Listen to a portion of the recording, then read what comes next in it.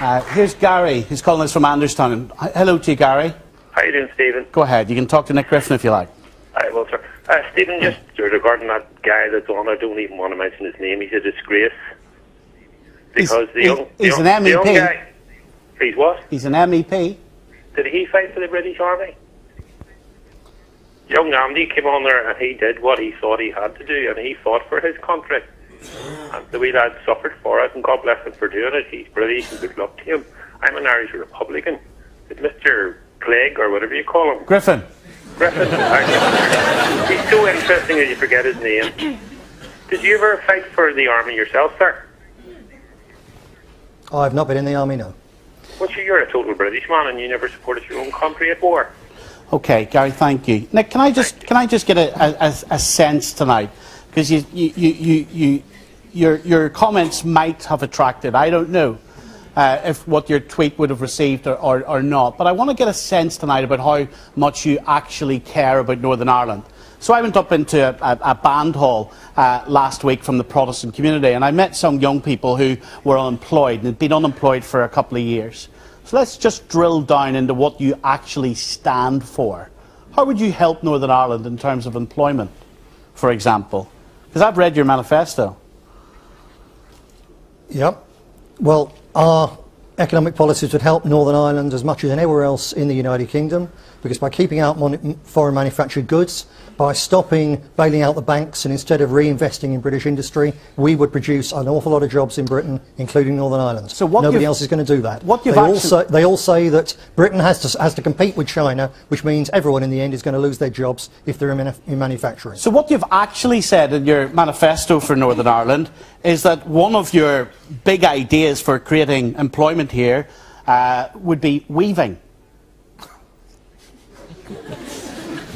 No, the, that's the Yes. local manifesto. And Yes. that was talking about uh, yeah, and it was about it was talking about encouraging to an extent a return to crafts as a way of providing jobs. But overall, you've got to see it in the overall context Yeah. of a manifesto for the whole of the United, United Kingdom. No, no, this was your- We're talking about not bailing out the banks Sure, but to the Mr. of billions of pounds Mr. and investing that money in Britain. Yeah, but we're in Northern Ireland, and you came to Northern Ireland. I know you only spent five days here Yes. uh, within the last 12 months, but let's actually see what your big ideas are.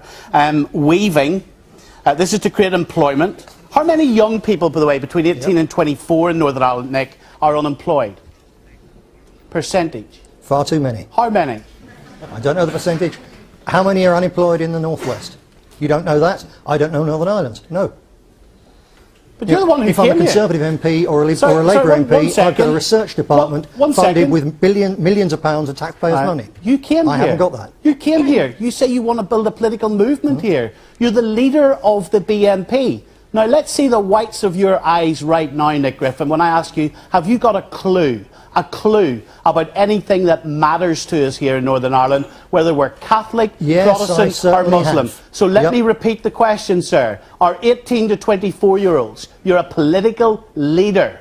What is the percentage of Mm-hmm. 18 to 24 year olds unemployed? I don't know, and David Cameron wouldn't know either, and you wouldn't ask him that because you're the, B- the biased BBC. It's typical of the way you work. Talk about the issues that I know bother people in Northern The- Ireland. the- It's immigration bothers people hugely, and it's the relentless attack on the loyalist working class by sectarian Fenian bigots bothers them a huge amount as well. It's, uh, it's the loyalist working class as well as other working classes that I'm talking about. Just, I'll maybe tweet this to you later. Uh, the, the, the answer is 24% uh, of 18 to 24 year olds, Nick, um, are, well, shocking. Shocking. It's a pity you didn't know it before you came. Yeah. Um, but, but of course, another No, one I, of know, your... I know it's too high, and that my party's the only ones with an answer. And, uh, well, one of your other answers in your manifesto is you would build stone walls to create employment in Northern Ireland.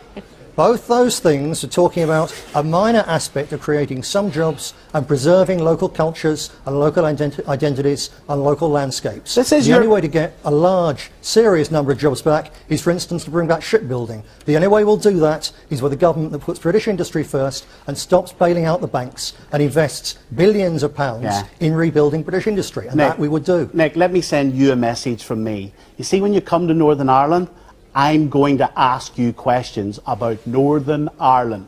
That's what I'm going to do.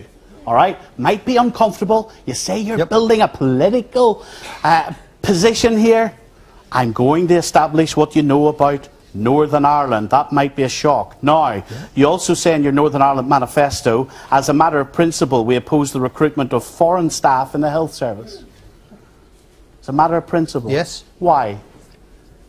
Yeah, this, this principle, because leaders, many, many leaders in southern, in Africa in particular, including Nelson Mandela, have literally begged the British government to stop recruiting, stealing nurses and doctors, because when we steal their health service workers, kids in those countries die, and we should be recruiting and training and paying a decent wage to our own unemployed youngsters to become nurses, to become doctors, instead of stealing from the third world. I think that's a very good principle. Okay, and the BNP, you say, would remove 100,000 NHS bureaucrats UK wide. How many of those would be from Northern Ireland?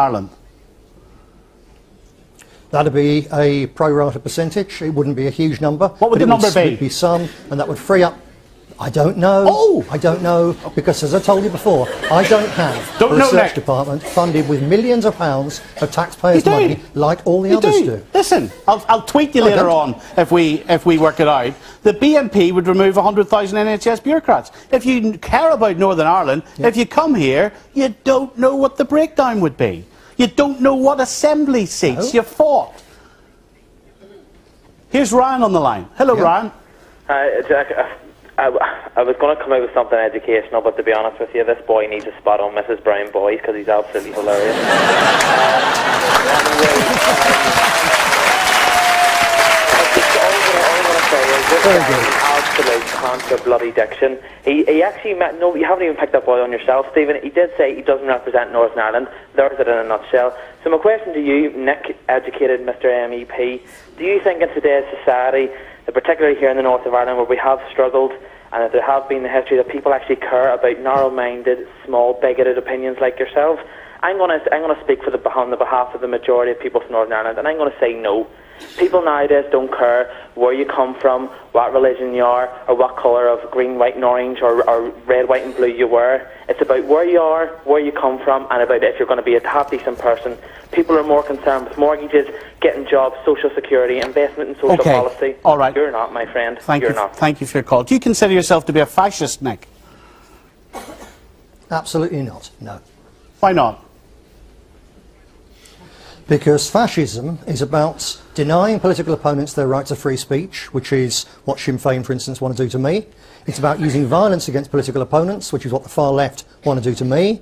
And it's about a close, incestuous relationship between government and big business All that right. screws ordinary people. That's what we had under the Labour Party. It's what we're getting, getting under the Tories. Okay. It's what I don't want to see. Well, listen, Nick, thank you very much uh, for coming on the programme tonight. We're going to continue the, the discussion on Twitter. And what I'll do straight after this programme is tweet you the seats that you fought, but you can't remember where they are. Thanks a lot. Give them a round of applause. That will be very useful. Thank you, very much. everybody.